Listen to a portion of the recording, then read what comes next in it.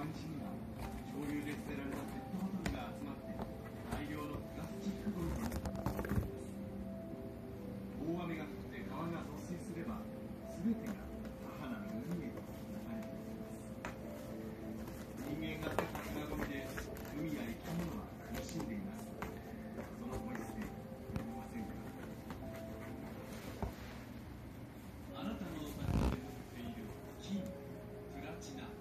イヤモンド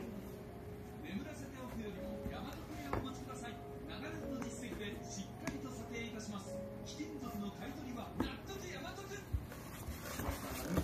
年前のコントで未来人大量復活ごっというような言葉を使っていたということについてスピード会議だったんですが最大基金会議会長